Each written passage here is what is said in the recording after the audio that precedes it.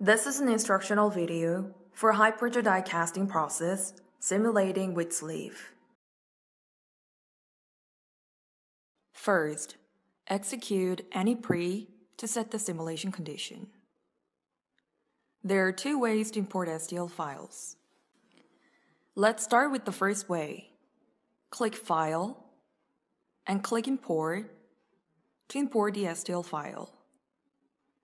Import is a function that loads the saved modeling in STL format into anyPRE. Another way to import STL files is very simple. Simply just drag the STL file to anyPRE.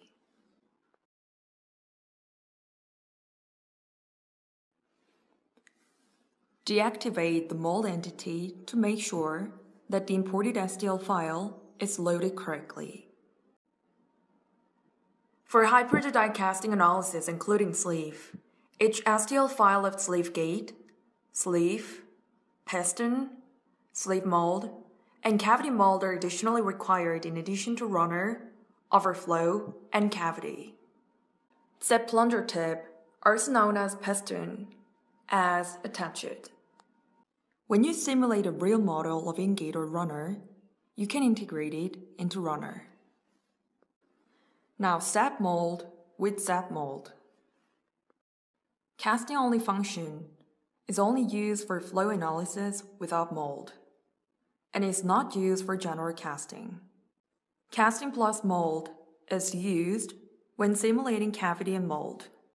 When you click the Casting plus mold button, you will see three different options. First of all, box is to create a virtual space. Please input the thickness of each direction. Second of all, shell thickness option will be enabled when you input shell thickness for investment casting. Lastly, mold entity is used when there is mold STL. Make cast from the cavity of mold is a function that recognizes the rest of the mold as cast when there is no cavity but mold data. In other words, if there is cast entity, even when you check this function, simulation will not be proceeded.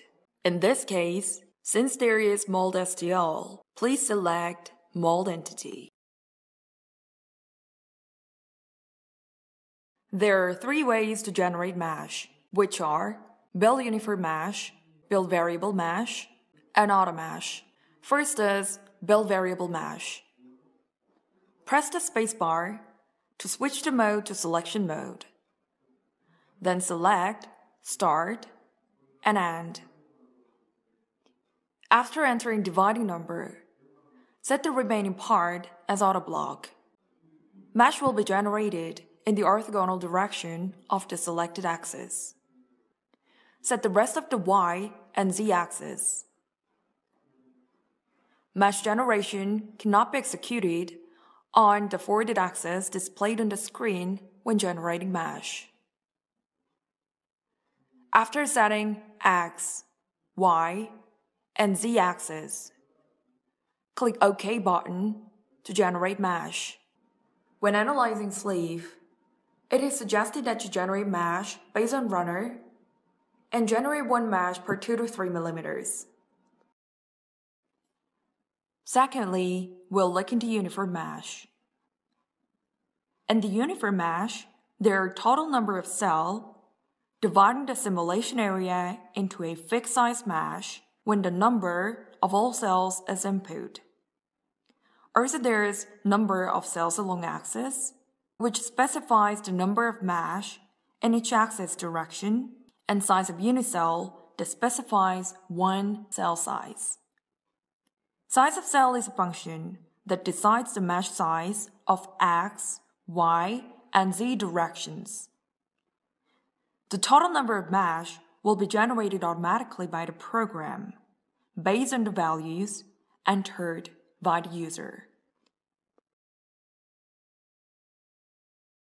The last one is AutoMesh. Click Automation.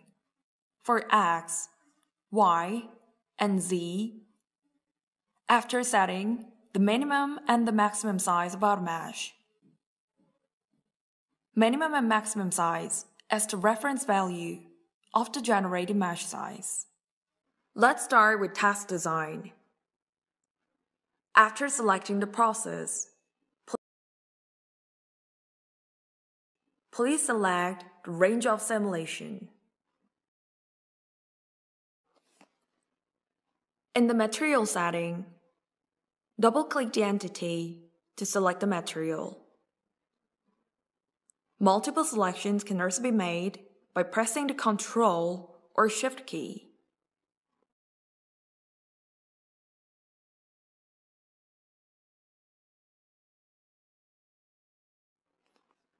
In initial condition, enter the initial temperature of each entity.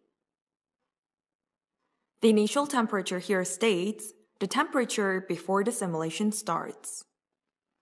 Heat transfer coefficient value is input automatically.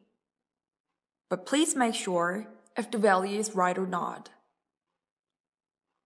The heat transfer coefficient unit of this video is calorie.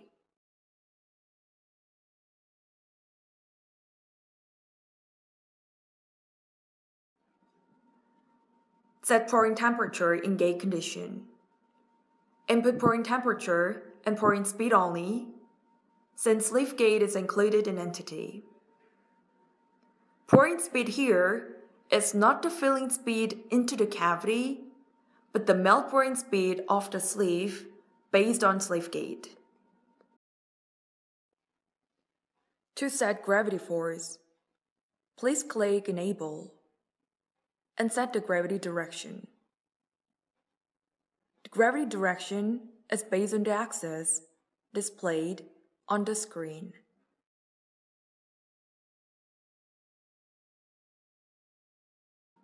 Activate turbulence model to calculate turbulence field. We suggest that you use turbulence model for high pressure die casting. Gas and melt surface is a function that predicts the amount and the position of the generated gas when melt is poured into the cavity.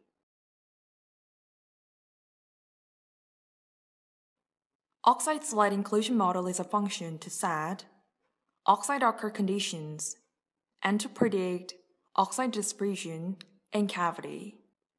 After activating it, click the icon next to variable temperature to see the value of the automatic input.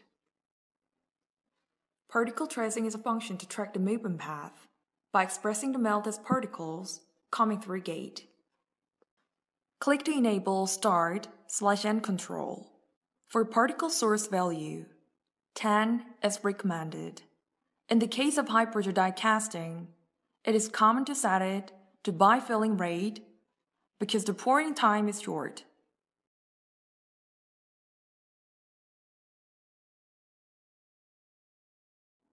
Shrinkage model is a model for predicting solidification shrinkage. For pressure die casting process, gravity shrinkage is not considered.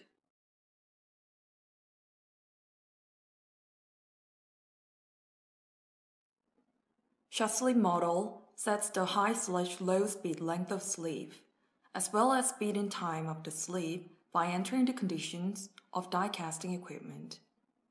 In the sleeve tab, set the sleeve length diameter, and biscuit thickness. Length value should include the thickness of biscuit.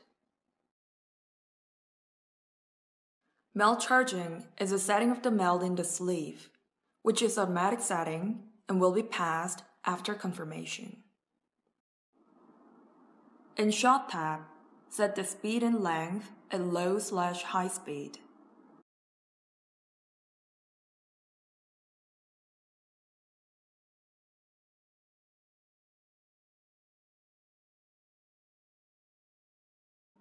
When analyzing high pressure die casting, including sleeve, set the plunger movement in plunger tab. Activate enable plunger moving and select attach a piston entity in plunger. Set the direction that plunger should move.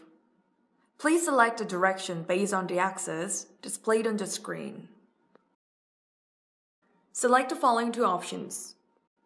First, assume that the melt is filled in the sleeve.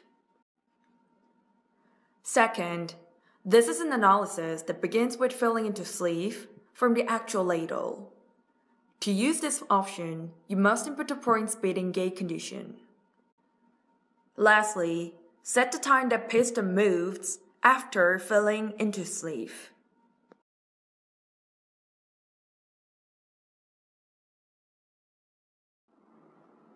Activate both mold erosion, that predicts mold erosion area, and gate flow tracking, which shows the flow of melt from in-gate and gate. After setting in slash out condition, click Save, then presetting process will all be done. In general for end condition, please select 100% solidification. However, this can vary depending on the test design setting. The information shows in progress result are temperature, oxide, velocity, flow tracking, and these can be checked only according to the output interval set in output condition.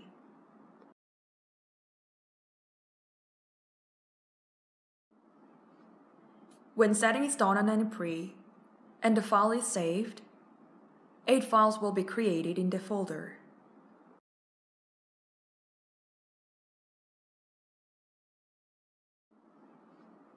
When setting is done on anyPRE, and the file is saved, eight files will be created in the folder. If the extension is GSCX, it is the file that contains some contents from AnyPre. MIF6X is virtual mesh information on RealFlow. Therefore, if you delete it, RealFlow will not be applied. MSHX includes physical mesh information. PRPX is a solver execution file. PXM, XML, TXT, and VPX are the files that store information about simulation settings. X after the file name means 64-bit. Save it via AnyPre to proceed to simulation, or you can also execute anySOLVER for simulation. After executing anySOLVER, click Open Project to open the file. Then, the information window will appear about the space available on disk, space required on disk, and number of result files. Please click Start after confirming the information and proceed the simulation.